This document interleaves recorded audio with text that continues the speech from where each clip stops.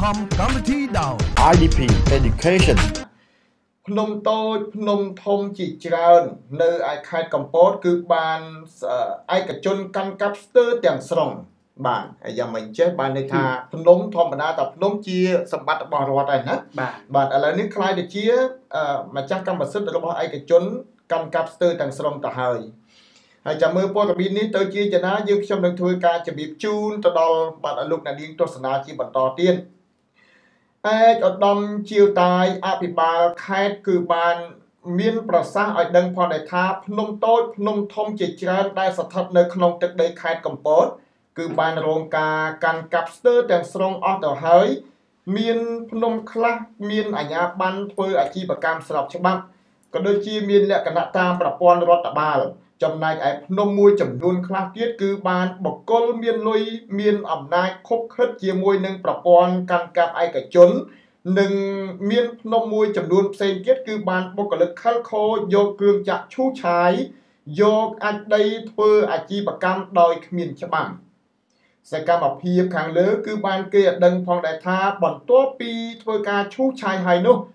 បុគ្គលទាំងនោះគឺបានវាទីយកដី ភ្នំខាងលើធ្វើជាកម្មសិទ្ធិយ៉ាងអនាធិបតេយ្យចំណែកដោយឡែកតែថ្មីថ្មីនេះប្រជាពលរដ្ឋអ្នកភូមិលាអាងនិងភូមិដំណាក់អំពិលស្ថិតនៅក្នុងឃុំលាអាង ស្រុកដងតុងខេត្តកំពតបានធ្វើការរិះគន់ចំពោះអាជ្ញាធរដងស្រុកដងតុងនិងខាងជំនាញរដ្ឋបាលព្រៃឈើដែលមានទូនាទីគ្រប់គ្រងគម្របព្រៃឈើរបស់រដ្ឋបាលនេះ គឺបណ្ដិតបណ្ដោយឲ្យលោកសាសវណ្ណាកាត់យកដីភ្នំដោយខុសច្បាប់និងប្រើប្រាស់គ្រឿងឈូសឆាយយកអាចដីលុកដូរយ៉ាងអនាធិបតេយ្យដែលស្ថិតនៅចង្កេះភ្នំក៏ដូចជាជួរភ្នំដង្កូវនៅចំណុចភូមិដំណាក់អំពិលនិងភូមិលាអាង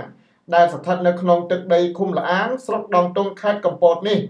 បន្ទាប់ពីទទួលបានព័ត៌មានច្បាស់ពីប្រជាពលរដ្ឋនៅក្នុងភូមិសាស្ត្រខាងលើនេះនៅថ្ងៃទី9ខែធ្នូឆ្នាំ2018គេបានឃើញសកម្មភាពឈូសឆាយដីយ៉ាងអនាធិបតេយ្យរបស់លោកស្រះវណ្ណានៅក្នុងនោះបូករួមនឹងសកម្មភាពគ្រឿងចាក់ធ្វើអាជីវកម្មផ្សេងផ្សេងទៀតដែលកំពុងតែធ្វើសកម្មភាពយ៉ាងរំភើយភ័យផាត់ផងដែរ ចំណែកឯប្រភពពីប្រជាពលរដ្ឋនៅក្នុងភូមិលអាង បានបញ្ជាក់ឲ្យដឹងផងដែរថាលោកសាសវណ្ណា ជាពលរដ្ឋរស់នៅក្នុងភូមិលអាង ហើយគឺបានគេឲ្យដឹងផងដែរថាលោកសាសវណ្ណា មានតួនាទីជាអនុសហគមន៍ការពារប្រៃឈើនៅតំបន់ជួរភ្នំដង្កូវនេះផងដែរហើយក៏បានតាំងខ្លួនបានកាន់កាប់តំណែងជាអនុប្រធានសហគមន៍នេះមកលោកសាសវណ្ណាបានកាប់ យកភ្នំបាទភ្នំវាទីឈូឆាយព្រៃភ្នំខាងលើជាបន្តបន្ទាប់រហូតដល់បច្ចុប្បន្ននេះលោកសាសវណ្ណាបានយកគ្រឿងចាក់ឈូឆាយគឺក្រវ៉ាត់ពាត់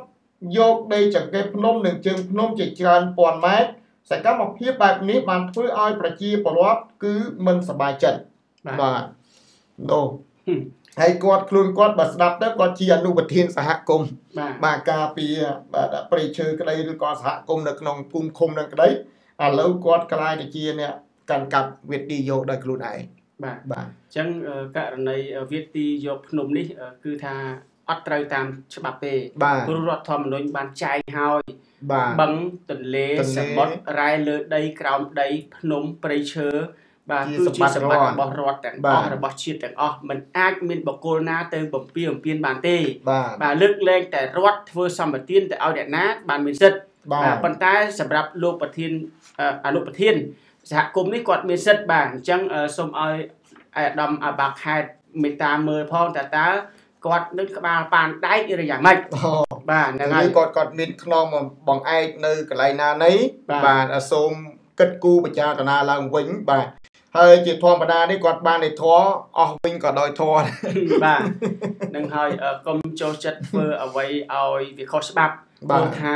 ទង្វើដែលយើងធ្វើខុសច្បាប់ថ្ងៃក្រោយ គឺយើងអាចមានទោសទណ្ឌ ហើយម្យ៉ាងទៀតយើងក្នុងនាមយើងជាអ្នកអភិរក្សជាអ្នកការពារនៅទីនោះទៀតបាទយើងបែរជាមិនធ្វើជាគំរូគេទៅទៅធ្វើគំរូអាក្រក់បាទបាទទៅរំលោភបំពានយកយកភ្នំយកអីធ្វើឲ្យប្រជាពលរដ្ឋក្តៅក្រហាយបាទអញ្ចឹងគឺអត់ល្អទេបាទអញ្ចឹងសូម សំណូមពរទៅដល់លោកអភិបាលខេត្តមេត្តាមើលផងហើយអញ្ជើញគាត់មកសួរបាទពួកគាត់ជាអនុប្រធាននៅទីនោះហើយយើងដឹងហើយបាទបាទហើយមើលសកម្មភាពគឺយើងបានដឹងទាំងអស់គ្នាយើងមិនថាអ្នកណាខុសអ្នកណាត្រូវទេប៉ុន្តែសកម្មភាពគឺគេបានថាគាត់បានដាក់គ្រឿងចាក់យុទ្ធការអញ្ចឹងបាទបាទអញ្ចឹងករណីនេះអឺទុកឲ្យសាធារណជនហើយនឹងអាជ្ញាធរខេត្តបាទជាអ្នកចាត់ចែងចោះព្រោះថាកិច្ចការទាំងអស់នេះ ក្រុមអ្នកកសែតក្រុមអ្នកទូទូគ្មានសិទ្ធិទៅហាមគាត់គាត់ទេបាទគ្រាន់តែបានដឹងបានឮពីប្រជាពលរដ្ឋបានរាយការណ៍ឬក៏យើងខាងចុះទៅឃើញផ្ទាល់បាន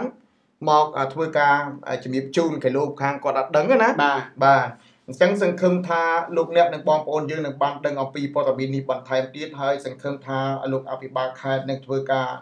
ចាត់ចែងនៅក្នុងរឿងនេះឲ្យកាន់តែមានភាពល្អប្រសើរដើម្បីជៀសវាងកុំឲ្យមានបាតុភិបប្រជាជនក៏ចោទអញ្ចេះ ចោទចោះទៅសួរនាំឲ្យបានច្បាស់លាស់តែម្ដងទៅមិនថាអញ្ចឹងបាទបាទនឹងហើយជៀសវាងការរិះគន់ពីសំណាក់ប្រជាពលរដ្ឋថាអាជ្ញាធរខេត្តឬអាជ្ញាធរស្រុកចេះតែបដ ாய் ឲ្យគេធ្វើបាត់ណាបាត់ណីចឹងដើម្បីបញ្ជានៃការមន្ទិលសង្ស័យទាំងអស់នេះសូមឲ្យ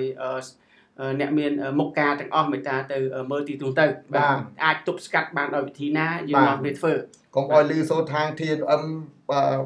ដាក់រូបទៅនឹង